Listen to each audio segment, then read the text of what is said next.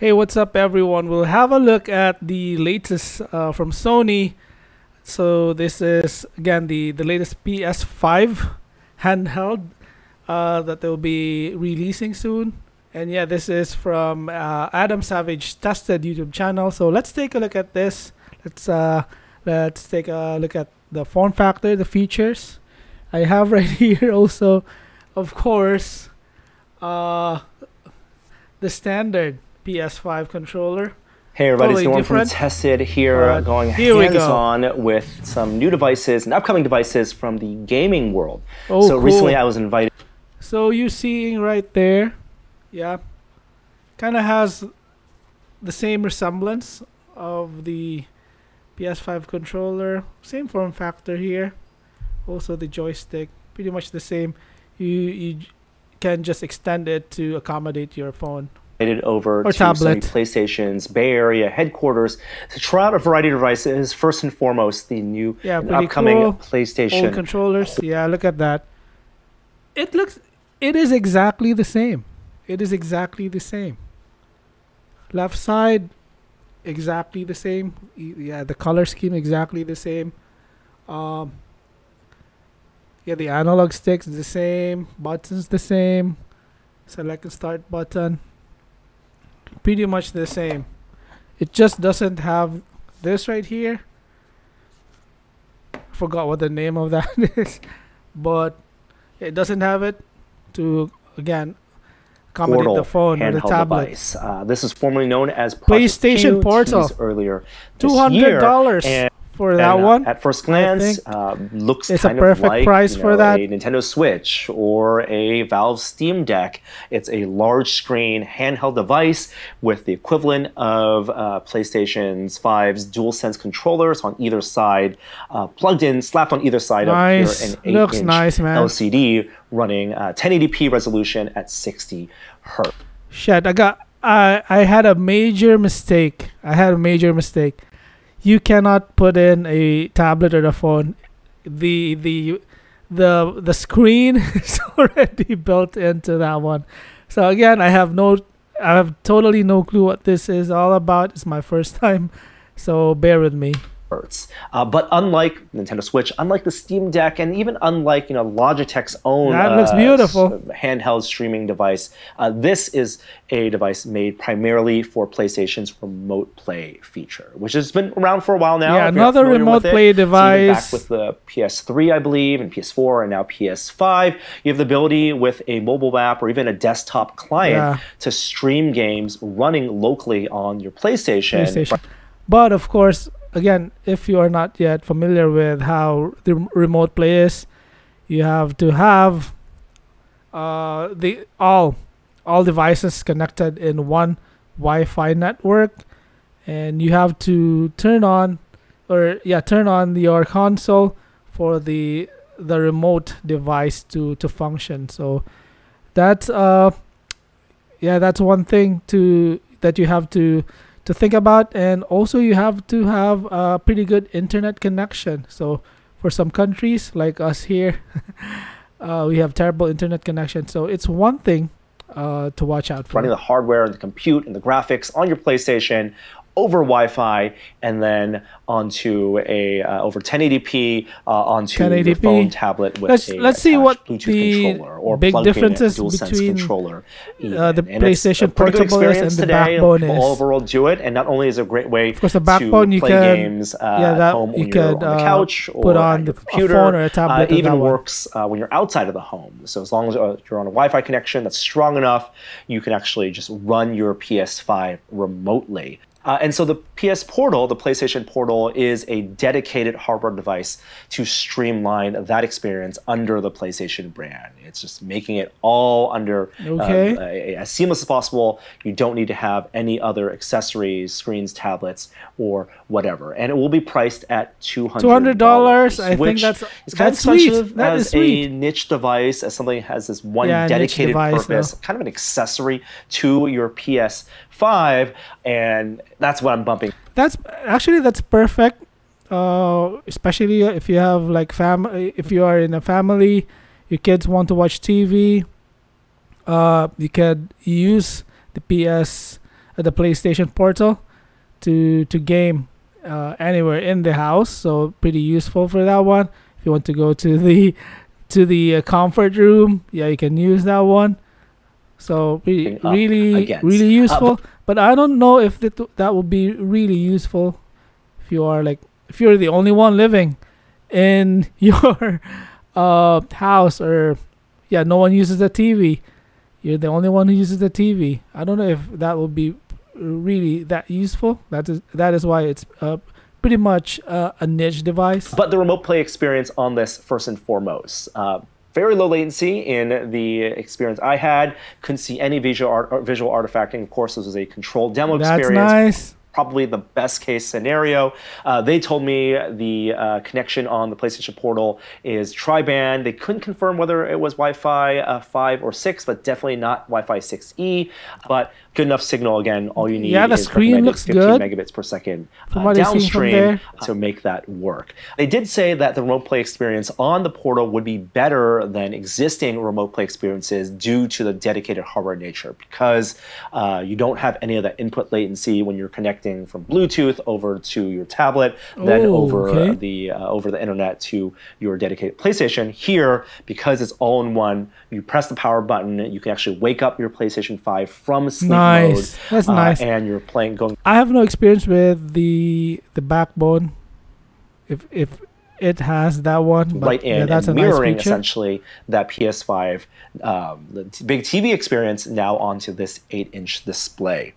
And the screen looked good. It's a 1080p screen running at 60 hertz with a max 500 hertz. of brightness. And from my experience in this best case scenario, uh, didn't notice any artifacts of compression coming over that stream. So very low latency in the demos I played. I did Astro's Playroom, it's a little bit of God of War, some Returnal, and it was it was like the best case remote play experience I have seen so far. Nice. Uh, weight distribution wise, it didn't feel heavy. Nice. It is a pretty wide device. You know, remind me of how big the you know like the, the, size of the Steam Deck. Steam Deck, man. Feel as heavy the as Steam Steam, Deck, big. and because it is wide, because it's using that eight-inch screen, it did feel like the battery was evenly distributed. It I don't know which has like the biggest bigger screen is it the Steam Deck or the port, uh, P- PlayStation Portal course, say uh, how big that battery was physically, and he couldn't even confirm the battery life. though Battery life, what is it? Battery runtime would be comparable to that of the DualSense controller. So north Um, of five hours five- of playtime, okay. um, and That's still the, actually uh, good. Not the, The Steam Deck's battery the Edge sucks big time, man. Sometimes I only get- battery life. yeah even less than Um, two hours of the of, controllers, uh, you game have time all the on my Steam adaptive Deck. trigger and haptic feedback elements that you have I don't would play have in the DualSense controller. that that There's, much no touchpad on it, so you use the Yeah, no touch screen touchpad. instead of that 8-inch screen. There's an overlay on the left and right side where you put your thumbs for that feature. Uh, and while it does have button parity, the thumbsticks are not the exact same thumbsticks as on Not the the exact DualSense. They're the thumbstick? thumbsticks that's on the PSVR 2 controller. So a little bit smaller and definitely not as smaller. nice as the one on the Edge controller for sure. Uh, there's I can't built into imagine there. There's actually a 3.5 millimeter headphone jack. smaller. That- uh, some speakers that would be at bad. the top.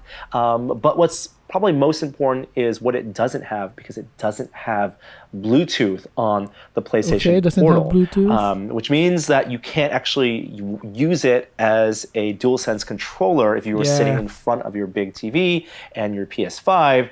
Uh, you could theoretically still use Remote Play and use it as uh, your controller, and then I think that's have that's deliberate two. But then because you'd be running Remote Play, uh, it wouldn't be. I don't think it's the optimal experience. Plus, you're then limiting yourself to 1080p on your TV if you have a 4K TV. Um, and perhaps the mo- most limiting uh, thing about the PlayStation Portal is it does not have access to the PS Plus's PS Plus Premium's cloud streaming service. So if you pay for Oh. PS Plus, which is PlayStation's uh, monthly or annual uh, subscription service, it gets you access to a library of games that you can download to your PS5. Uh, at the highest tier, there's also cloud streaming, uh, which you can only do right now locally on your PS5. Even with Oh, remote play, oh. you cannot stream from the cloud to your PS5 and then back it? up over internet to a mobile device. And Okay. the PS Portal won't be able to tap Oh, into shit. that cloud streaming either, Why? which seems like uh, kind of a- Why? a funky decision. You know? Why? I, I think it's probably the wrong decision. I know why. I think in the next PlayStation Portal that would be included, so that it would have the quote unquote upgrade. it's muted. that they could unlock in the future. Um, but that's just that's Yeah, in the not the, future. scope of what they wanted to release right now, which may Version two, be man, version it may speak to maybe the lack Wait of confidence they have in PS Plus Premium's cloud streaming availability, or the, the amount of games, or the fact that they just want people to still be buying PS5s. They don't want to leave that hardware business entirely. yeah. This is not going to replace that experience. Yeah, of course. Um, also, with the lack of. Bluetooth means you're not going to be using Bluetooth headphones, and that leads to the other devices that I got to try on, which were two audio devices. There were the previously. oh, I think I, I see that one. That's uh, that's the hundred fifty dollar. Used uh, earbuds, so wireless earbuds. earbuds, now called the Pulse Explorer, Shit. as well as a new pair of over-the-head headphones. Imagine um, spending their, uh, 150 the for that, plus to the Pulse 3D 200. headphones. This one called the Pulse. That's already Elite, 350. Pulse Explorer. Pulse Elite, yeah, a little Shit, bit confusing. A lot of these common terms shared in the gaming space. Uh, Wow. but what's unique about these two audio devices is that they are both planar magnetic headphones. They use planar magnetic drivers, which are a different type of audio technology, larger form factor. Uh, and in the audiophile world, I have planar magnetic headphones I absolutely adore and love. And they're just really great sounding for music, really crisp on the high ends. If you plug this into an amp, you some really high quality audio Okay. experiences. Uh, but That traditionally, the entry point for planar magnetic headphones is north of $200 $300 honestly for like a pair of HiFiMANs that you then also have to plug into an amp here the pulse explorers are planar magnetic and they run off of internal battery that then you can also charge with uh, the caddy the case that it comes in and the pulse elites the over-the-head uh, headphones over-the-ear headphones Man, the, uh, the those are also planar magnetic. the earbuds, though, power they look good, well. And I got to try that. but $150 Returnal, uh, and the demo sequence they had set up really accentuated That one looks good, man. and raindrops falling onto the ship as you're exploring. I have no experience with, Uh, one caveat how with planar planar he- magnetic headphones headphone that I've used in the past is the low end. but based on what he is seem to be talking about, I Don't think it looks- it sounds of, amazing. uh, the bass as you would, uh, even with like you know Sony's own XM line of headphones. There's also no um, active audio cancellation, noise cancellation. Oh. It's just Oh. noise isolation, but it did feel like the noise isolation the on difference? the uh, the elites were pretty good to the point that I couldn't hear Okay, people in nice the room as we were filming and I was testing them. Uh, and what's also interesting is that these devices connect to the uh, PS Portal uh, and theoretically to your PS5 over a new wireless protocol that they're releasing called PS Link, PlayStation Link. This is a Okay. 2.4 gigahertz uh, connection um, that requires, as of right now, for the PS5, a dedicated hardware dongle that will be bundled with the Another. headphones. PS Oh, uh, Portal will have it built in, presumably least all it's PlayStation bundled. devices going hardware. I thought they were going to go the as well Apple, as some uh, third-party uh, route. partners that will, uh, will also use PS Link, but the PS5 you need to plug in this USB-A dongle. Uh, but it's supposed to be a more reliable and stronger and more versatile connection than Bluetooth. It's also their proprietary connection, but with a dongle, and they will sell those uh, a la carte as well. You could also plug that into your gaming PC, and you could switch your your Pulse Explorers between your PS5 and then your Portal, and also then walking over to your PC, press that button, hold it down, and instantly reconnect, link back up to that device.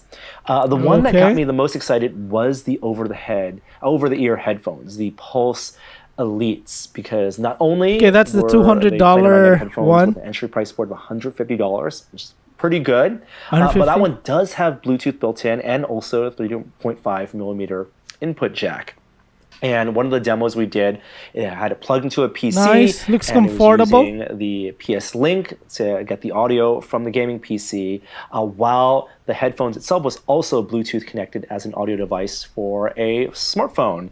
And when I received a phone call or a FaceTime call on that phone, it seamlessly actually combined the audio feeds, uh, so I could have a phone call and then also uh, turn down the audio with the you wouldn't have to switch between one or the other it would actually mix that together uh, which is a really neat I- feature yeah, uh, there's that also looks microphone good, built in to the actually. headphones as well you pull them out on the uh, the pulse elites uh, and while there's no active noise cancellation on the, the output side on the Again, no input active side, noise is, cancellation. uh, some AI processing i- to it has noise sounds and isolation, I suppose. sounds or you know the the sounds of you eating uh, a bag of chips was a demo they showed. And that actually worked pretty well. Uh, Okay, good to- 3.5 good to millimeter know. jack on the Pulse Explorers does do audio pass-through, but it does require that the headphones have power. So unlike you know some headphones where if your battery runs out, you can still get uh, access to the drivers by plugging into a 3.5 millimeter jack. Here, you do need those Pulse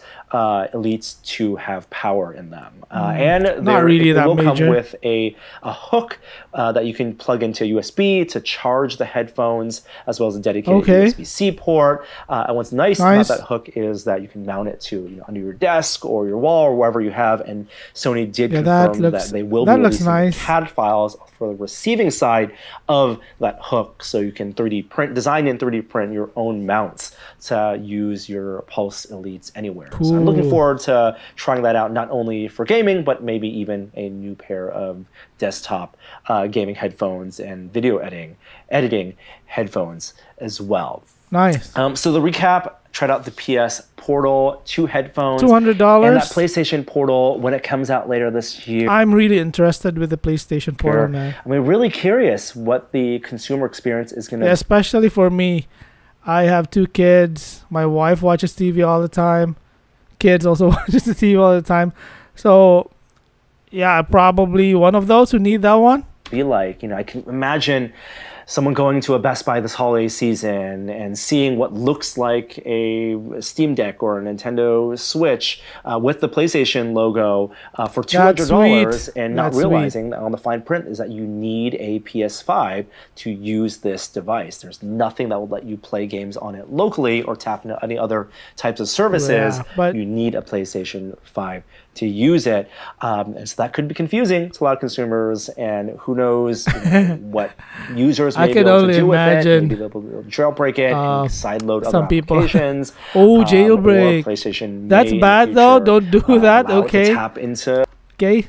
Don't do that. Please support the gaming industry, man. We don't want the gaming industry to die. Uh, again, please no ja- do not jailbreak the devices. It yeah, it would be favorable for us, but actually in the end if you jailbreak no one buys the games anymore, then developers again won't won't be able to develop really good games because of that. So again, do not support uh, jailbreaking. PS Plus premiums, cloud streaming. I'm not sure right now. The scope though of this device for 200 bucks is just PlayStation Remote I Play. think so, you know, 200 in bucks a world is where there was okay. a proper successor It's okay. to the PSP and PS Vita that did do local playing uh, of games, you know, the PS Portal would live comfortably in that family of devices. But where It's totally different, current. PS5 It's generation, totally this different. is their only handheld device, uh, that feels a little weird. It's pretty niche for them to come out with that. Um, so we'll see uh, when that comes out again later this year. Along Later with this year. the, Nice. Uh, Pulse Explore uh, earbuds. Uh, no release Oh shit, Adam Savage Starfield spaceship model. I'm gonna watch that one also, man. I'm excited about that. So, anyways, uh, that's it. I hope you enjoy this one. Who's excited about the upcoming uh, PlayStation Portal? Let me know. I'm definitely excited about that. I will be getting one if I can find one in store. And uh, hope you enjoy this. Like and subscribe, and also subscribe to Adam Savage. Thank you for watching. Bye bye.